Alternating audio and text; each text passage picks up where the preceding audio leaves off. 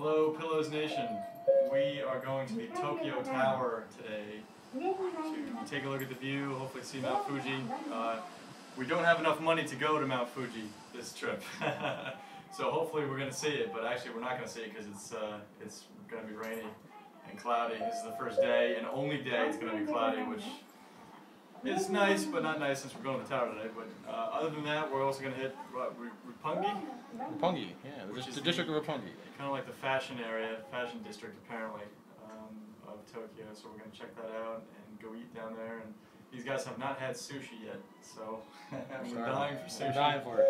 We're gonna hit that today, and we're gonna give you some cool reports from the tower and maybe from the district, and get some funny stuff on tape. So we'll see you soon.